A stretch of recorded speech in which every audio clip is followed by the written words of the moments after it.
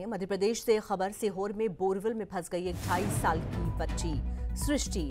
17 घंटे से बोरवेल में फंसी हुई है सृष्टि। 300 फीट गहरे बोरवेल में ये बच्ची फंसी हुई है।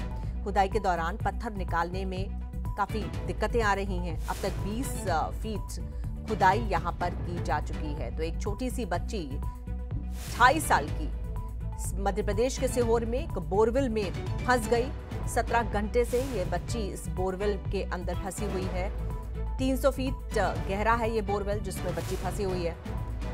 बच्ची को निकालने के लिए खुदाई की जा रही है, लेकिन खुदाई के दौरान पत्थर निकालने में दिक्कतें पेश आ रही हैं। अब तक 20 फीट की खुदाई हो चुकी है और जो लक्ष्य है वो 300 फीट का है, क्योंकि ये बोरवेल 300 फीट गहरा है, जिसमें ढाई साल की ये बच्ची सृष्टि फंसी हुई है। मध्य प्रदेश के सीहोर की यह घटना।